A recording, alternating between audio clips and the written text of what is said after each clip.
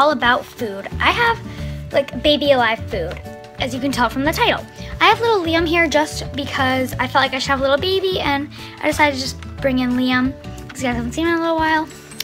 So Liam's gonna be here with me for the intro, but he might not be with me for the rest of the video, but I just thought it'd be more interesting to see him and me rather than just me. Anyways, so this video is all about how to make the right and wrong ways um, of making baby alive food using lotion.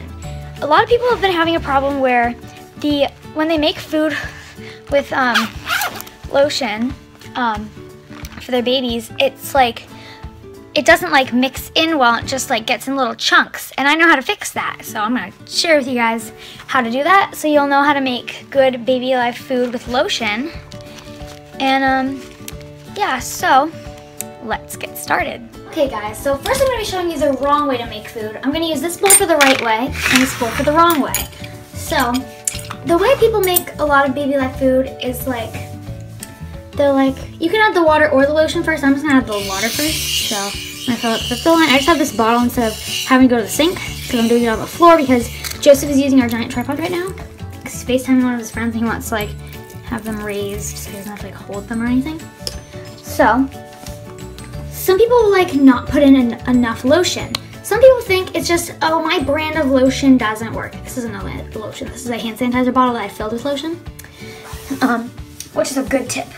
And so some people might think, oh, it's just my brand of lotion. But the brand may be a small factor, but that's really not the big deal here. So let me just show you what a lot of people do. They'll just add like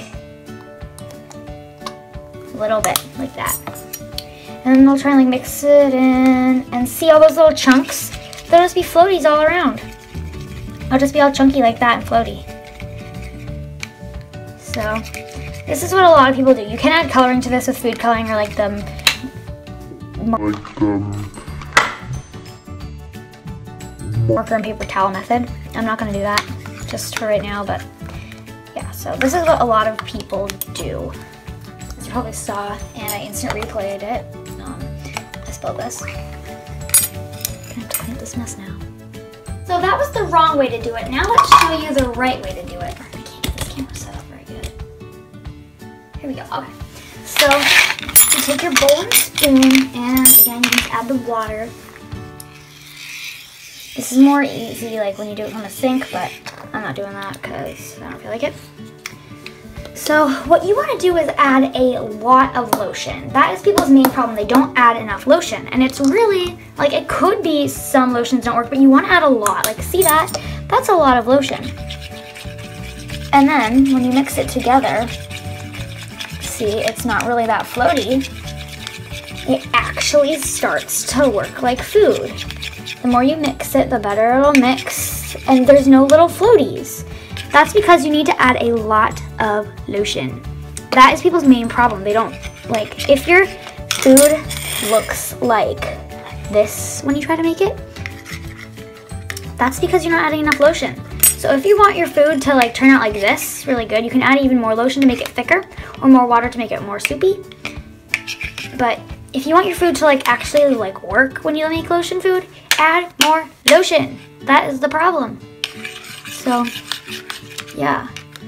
The good thing about lotion food that you can't do with um, flour food is that you can store it in a container and it will not rot because it's lotion doesn't rot when it's mixed with water, but flour does. So, yeah. So look at this, no floaties, no floaties. This is good, and this is bad.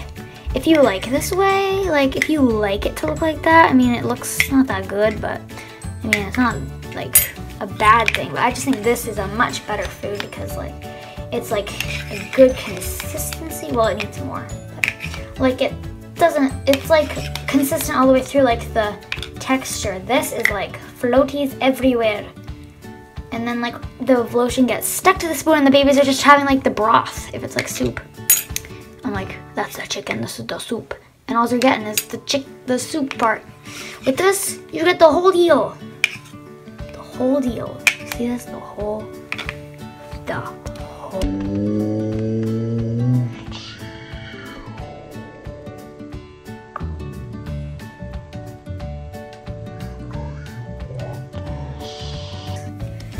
You don't want this. No, you don't.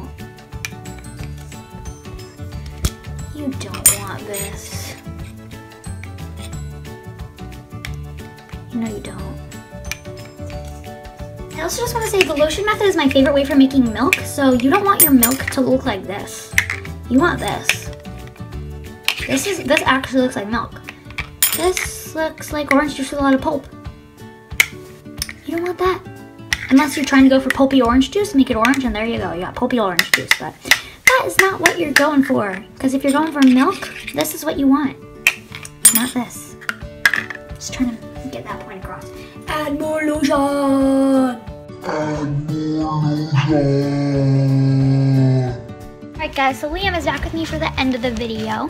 So hopefully this helped you guys make some more, um, make your lotion food better. Remember to add more lotion because if it isn't turning out right, always add more lotion. Because like, if you think it's, if you add too much lotion, like, which, how could you?